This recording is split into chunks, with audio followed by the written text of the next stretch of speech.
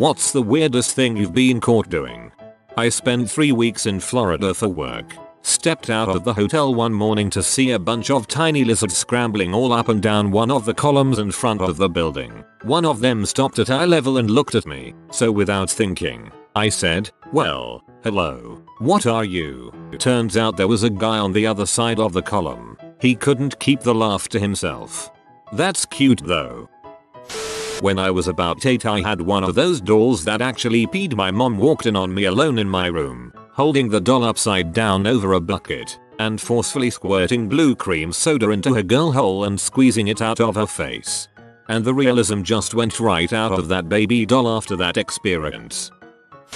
Once I was taking a crap in a public restroom and heard weird noises, so I looked under the stall to check the feet of the dude next to me. I'm not sure why, I just did it to be safe. Turns out the dude next to me was checking at the exact same time I was. It was so freaking awkward as we made eye contact nearly upside down by our underwear. I guess it was weird for both of us.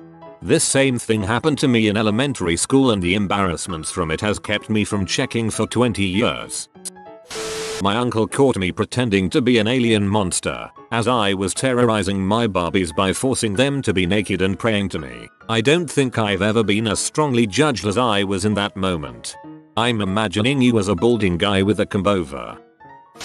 Back in the day I had this app called I Am T-Pain where you basically auto-tune your voice and you can hear yourself with the headphones. I was singing Buy U a Drank in a heavy Jamaican accent thinking I was first to come home from school to an empty house. My brother and his friend were in the next room laughing so hard but I didn't realize until I was done.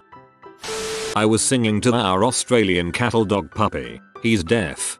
That's still cute. Trying to smoke whole cloves stolen from the spice cupboard out of a makeshift pipe fashioned from a miniature sieve and the shaft of a ballpoint pen when I was 12. My mother asked my sister if she thought I was experimenting with C. My friend's mom found his pot stash. It was the late 70s and we were in 8th grade. He also had a bag of seeds. She shook them in his face and demanded to know what kind of pills they were.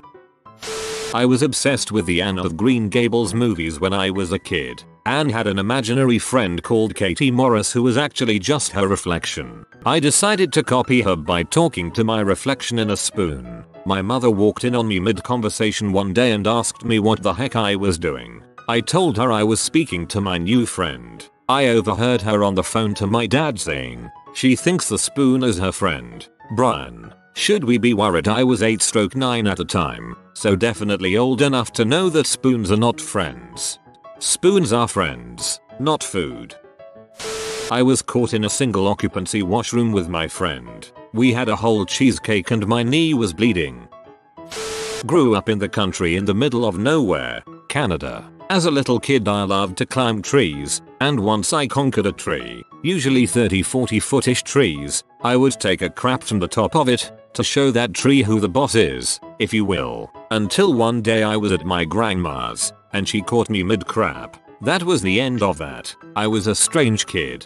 Henry, there is a small man with unusually large cheeks smoking a cigar in the tree again. My friend and I are both unathletic fattises. I'm 6 feet 5 300 pounds and he's 5 feet 9 270 or so. We decided one night to have a series of foot races down his dimly lit street since I claimed to have rocket speed. I beat him in every race, about 5 slow races, and on the last one his neighbor, one year older and we were in high school, and his friends all rolled down their windows laughing. They were parked in the street we were racing down smoking weed and we had no clue. I had a friend as a teenager that was about 270 pounds at 16, but he played rugby and could run 100 meters in like 11 seconds, was lightning fast for his size. It was surreal.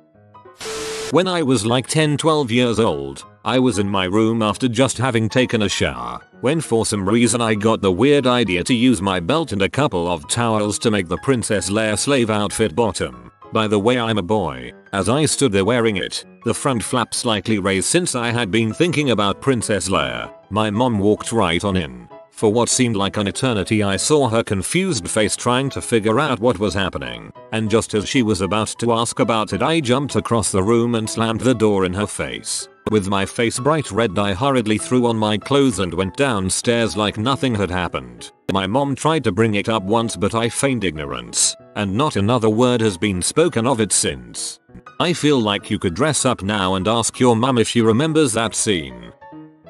In my undergrad lab my pie walked in on me trying to catch tiny little bugs in the greenhouse. We had an infestation and I had been trying to kill some without squishing them too bad so I could take them back to the lab manager for identification. My pi thought I was trying to eradicate the entire infestation by hand. In that same lab the lab manager also walked in on me trying to stab a hissing cockroach with a bamboo stake. The sucker was running circles in our sterile soil bin. I shall call you Crappy Steve Irwin from now on. One time when I was maybe 12, I was posted up at my computer for hours. You know how when you do something for a while, you don't pay attention to what you're doing while on autopilot? That happened. My brother walked in and I had my hair in my mouth. It was when all the lads had the skater cut. When he asked why, I realized I had put my hair in sweet tea and was sucking it out. To this day, I have no idea why I did that. You can't waste sweet tea. Eating sugar, like, just white sugar, pouring it in my mouth directly from the box.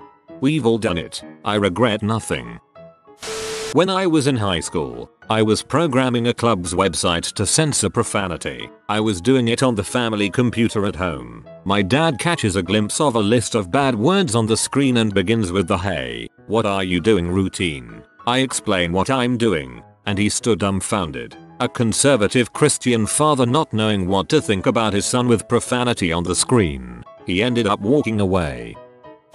I had just played the older Mortal Kombat games for the Super NES half an hour ago before going to work. So now I'm driving and I'm imitating the different fatality death screams and screaming at the top of my lungs Raiden's AYE Baba AYYY gibberish. I didn't realize I was at a red light with windows open and the persons from cars next to me were staring with a puzzled and scared look.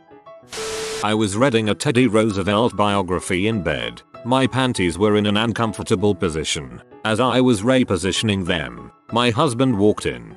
At least it was your husband. Walking a drunk, naked lad back to my room for exactly none of the reasons you might think. I was writing up an assignment last minute and my friend came in absolutely wasted, had no idea where he'd been for the previous 5 hours, and was making a racket. I couldn't really leave him so I fetched some water and put him to bed with a sick bucket. Five minutes later he wandered into my room wearing nothing but a towel and decided my bed was the place to crash. He started yelling about RuneScape before deciding he needed to puke and wandered off to the bathroom. My other flatmates caught him stumbling back to my room with the towel held loosely in front of his junk whilst all I could do is watch an abject horror. Had to awkwardly explain to them later on that I genuinely wasn't trying to lure drunk guys into my room like some predatory creep. Ah yes the old drunken RuneScape rants. 17 and on my back trying, failing, to suck my own dong and my mom walked into the room. That was awkward. Neither of us ever mentioned it. I was at the bathroom at school. I was crapping in a stall and I remembered seeing no one when I came in so, because I'm a weirdo I guess, I decided to say loudly, I'm crapping ha ha ha. I'm freaking crapping ha ha ha. I just wanna say that I was lotting really loud because it echoed in the bathroom and it sounded cool. So, after that, I opened the stall's door and walked toward the sink. I began to wash my hand and slowly raised my head. In the mirror I see someone. It's a teacher. He was peeing in an urinal right next to my stall. He finish and wash his hands in silence. We don't say a word. He exit the bathroom. I look myself in the mirror and say to myself, why do you do this? Then I laughed like an idiot. What a day it was. Dominance asserted captain. I shared a room in college with my friend Lauren. For some reason, we put the one lamp in the room on the inside of her bed. She fell asleep with it on. So I very carefully tried to reach for it but couldn't. So I climbed onto the bed, moving through slowly, started to step over her, and she woke up as I was basically straddling her and staring down at her, and the look of sheer terror on her face is one I won't forget. We moved the lamp after that. Poor Lauren. I licked a doorknob when I was little because it tasted funky and my tongue got jammed in the lock somehow don't think I ever cried harder than that. Till this day it still gets brought up at gatherings. I was recording an erotic audio for r/gonewildaudio, not on this account. I thought I was home alone until after I finished and I heard sounds. Apparently my roommate's girlfriend was home. She didn't make eye contact with me for two weeks. I'm sure she heard me. I got really hungry but didn't have much variety in the way of snacks. My roommate arrived to find me eating dry oatmeal mixed with sweet and sour sauce. I don't recommend it. EWW. I got my first kiss on the lips when I was about 8 years old. That night I went home and decided since things were heating up in my newfound relationship, that I ought to get to practicing. I decide the wall is a safe bet and begin to make out with it. Then I start whispering to the wall, pretending it is my third grade boyfriend. I hear a floorboard creak and look over to see my grandma standing in the doorway. She backs away, looking down at the ground. This has haunted me for so long and so deeply that I think about it at least once a week. I used to put on lipstick and kiss my mirror as kid just because I thought it looked cool and my parents never believed me that I wasn't kissing myself in the mirror. After a night out in Amsterdam I go back to my hostel to crash. A couple people are already passed out in the room I'm staying in while I'm trying to fall asleep. All of a sudden I hear this one dude suddenly yell, then fart, yell again, and then one more loud fart. I can't believe no one else heard it. I was so high it scared the living heck out of me. When I was in elementary school we made a trip to a park, and I disappeared. They found me an hour later licking sugar from a bench. That wasn't sugar my friend. Naked with a bowl of jello, it was hot, and I was hungry. Frisky. Some guy at my university looked like one of my friends. I screenshotted his profile picture and sent it to my group chat of friends back home saying this guy is your doppelganger. We all laughed and I thought nothing of it. Later in the week I was paired with him for labs. We were taking photos of pendulum movement for the experiment and when I showed him the photos I had taken he saw the screenshot of his profile picture. I looked very very weird. Me and my bro used to make up rhythms that we only used with each other. We were about 13 and 12 or so and one day we were sitting on bench with a couple of choc-mint cornettos. I give a sigh of joy as I bite into one and then, thinking no one was around except bro, declare in a loud voice yum yum lick my bum. To which the older kid who had been sitting on the bank behind us says, lick my bum. What are you fking gay or summit and he continued laughing at me and my brother until we walked off with our heads hung in shame. Thank you for this. I just lost my crap at work. Ironing my clothes for a night out completely naked only to realize my neighbors across from my bedroom window had been drinking coffee on their bedroom balcony the whole time. Well, for a bit of context, I work in theater. I was in my garage building a child-sized coffin. It was June, so clearly not Halloween related. I was nearly done with it and was weathering it with a length of chain when the FedEx guy walked up. Me, standing over coffin, wielding piece of chain. Ah, hello. FedEx guy, me. Do I need to sign for that? FedEx guy, me. You can just leave it there if you want. FedEx, sets down box and walks away without a word.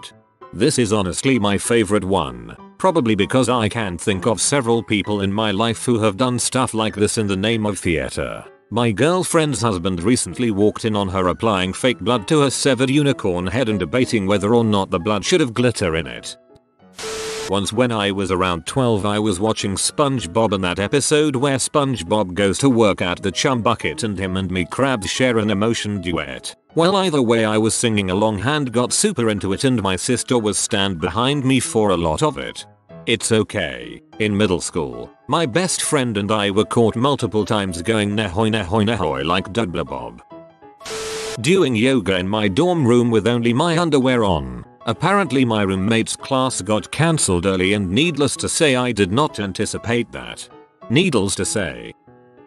It's not that weird, but I very often sit in my car before after picking up fast food or coffee and then pull up Reddit, turn on some music, and lose track of time. I'll end up sitting in weird positions, like all the way slouched with my feet on the armrest, laughing really loudly, and talking to myself. Too many times I've had someone pull up beside me, give me a weird look, go inside, eat their meal and all that, then come back like an hour later and give me a far stranger look when they see I'm still there. Now that I think about it, I should finally head on into the Starbucks whose parking lot I've been loitering in.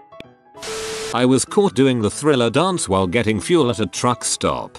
I saw a trucker loading groceries into his truck in a Walmart parking lot yesterday. He was doing a dance like Kevin Bacon in the beginning of Footloose. Not me but when my husband was 4 or 5 he was having a poo on the toilet and sticking bits of chewed up apple up his nose. Had to go to the doctor to get it taken out. 13 and 8th grade. I was dancing in front of my stepdog-in-law. It was a very stupid dance I remember from the gamer poop videos. Also, this was the time where I learned how to talk in Barack Obama's accent. Started dancing and my stepbrother-in-law comes upstairs and tells me to stop as his dog doesn't need a stripper, not even a Barack Obama one. Laughed my butt off on that one. Whenever I shower, I end up remembering and regretting really socially awkward things I've done in the past few days, which causes an outburst of expletives. When I first moved into a share house on my travels the looks I got as I left the bathroom were a mix of confusion and horror. They're used to it now. Hey, I do the exact same thing. Just straight up dancing in the aisles at my work. It's hard because I want to deliver the best customer service possible, but I simply can't resist busting a move. I did that while washing dishes at my job at a pizza place. A co-worker saw it and thought it was cute.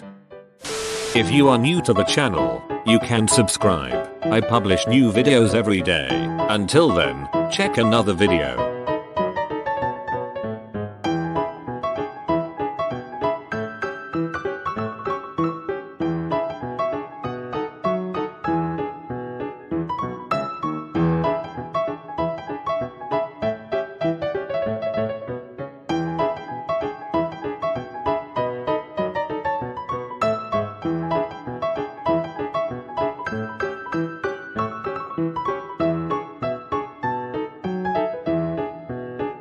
Bye for now.